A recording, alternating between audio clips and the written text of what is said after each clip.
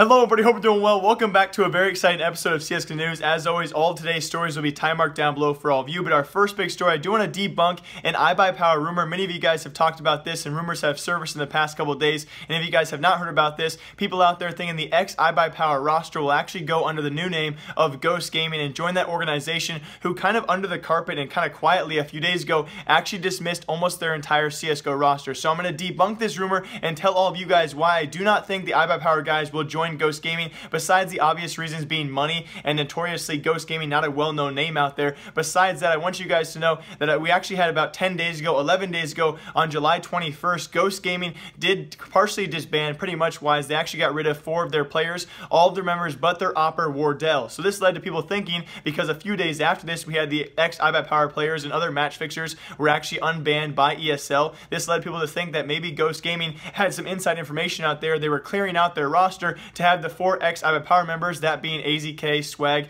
uh, Dazed, and, and of course being Steel, the last one there, to actually join that roster. So first off, the main point I have to say here is no one knew about this. If you guys watch clips of all the iBuyPower players learning about this, even they didn't know they were going to be unbanned on that day. So it'd be a pretty big risk for a CSGO team or any organization out there to let go of their roster in hopes of a coming announcement of ex iBuyPower members to actually be unbanned. Although we, it was likely, we knew it was going to come eventually, we didn't know exactly when. So that, that theory out there that you guys thought, oh, they must have had inside information, they cleared out their roster because they knew it was going to happen sometime soon, that is probably not going to happen. On top of that, we also have Dazed, who on his own live stream built out a list of teams and players that he would play with. He actually wrote out a list of three teams, Optic, Cloud9, and Liquid being your top North American teams, and he also listed out AWPers and other CSGO players that he would play with, and if they're not on that list, he would not play with them, and Wardell, the AWPer for Ghost Gaming, the only remaining member, is not on that list. So, iBuyPower will not join Ghost Gaming. I'll show you guys that clip by Dazed right now as well, confirming that they are not going to join Ghost Gaming. Maybe Tempo Storm, maybe some other team who actually can afford them and have a future with them, but we'll see. It will not be Ghost Gaming, most likely. If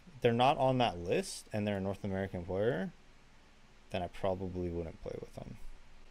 So when you type somebody and you see they're not here or here,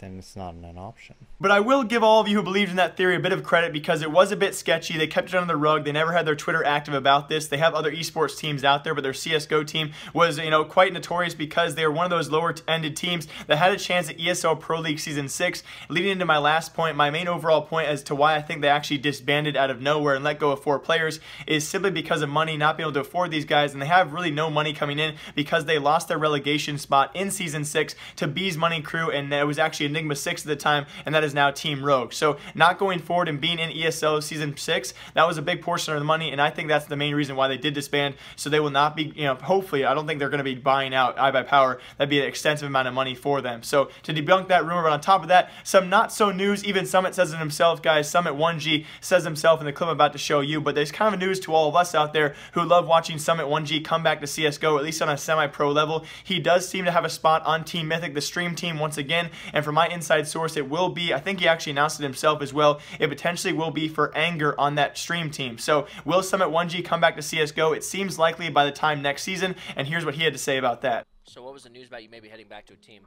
Oh, no news. Just kind of, I got a text that Mythic might have a spot open next season, so they're just asking if I was curious, about, or curious if I wanted to take it.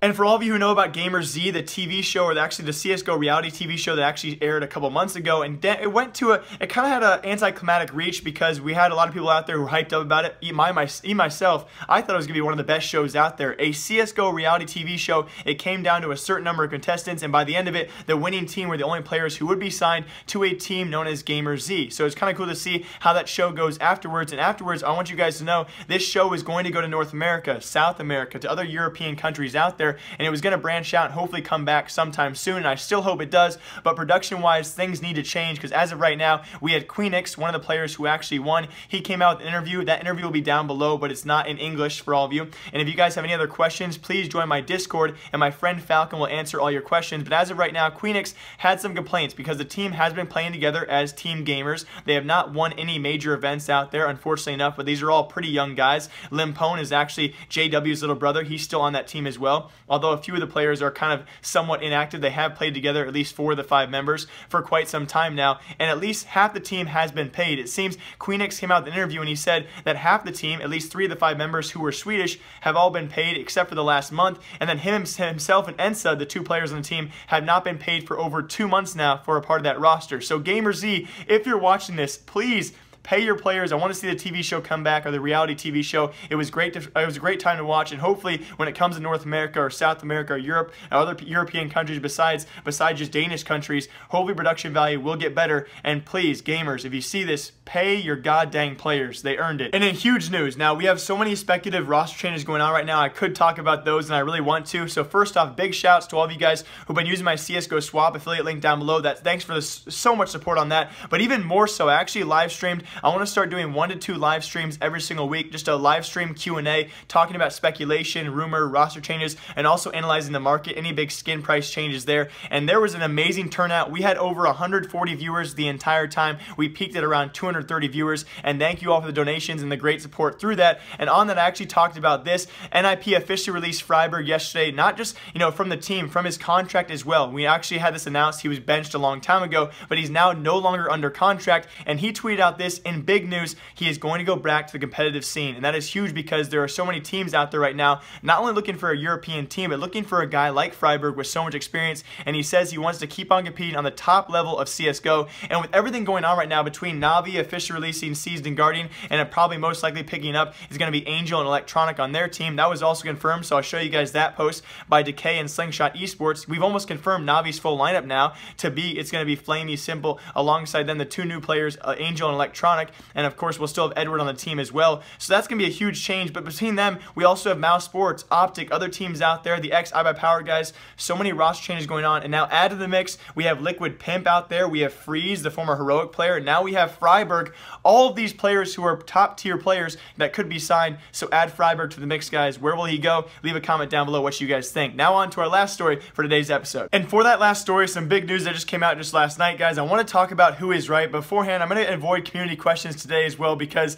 I kid you guys not, for the entire hour and a half live stream yesterday, the entire chat was spamming, where is Foon? Where is Foon? Hey, where is Foon? And so I'm going to avoid community questions for today, but I'll try and find some other answers out there for all of you guys who submit questions down below. But I want to talk about for this important segment right here is who is right. We actually have a story posted by DeKay a couple hours ago at the point of me recording this, which did state Navi had confirmed, or most likely, we're going to have two new members, an Angel from Hellraisers, and that was going to be Electronic from Flipsid3 to join for, of course, Seized and Guardian who have officially left that roster. Now, as of right now, we now have the Flipsid3 founder himself tweeting out this as a reply to some tweets out there, and he says, LOL, actually kind of, you know, brashing comments here because he also says their contracts are until 2019, still a year and a half more for these guys, and uh, apparently DeKay is just hearing rumors and hoping that it sticks. So as of right now, who do you guys believe? Do you guys believe DeKay and the fact that Electronic will go and join that new Navi roster, or will he stay with Flipsid3 Tactics?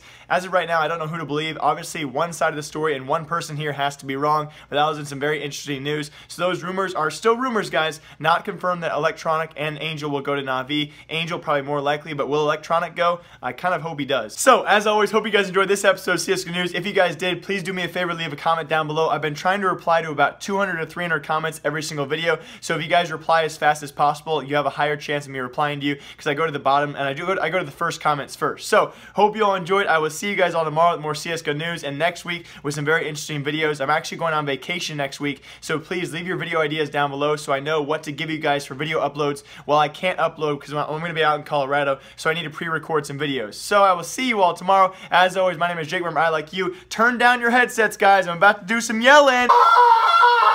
Goodbye!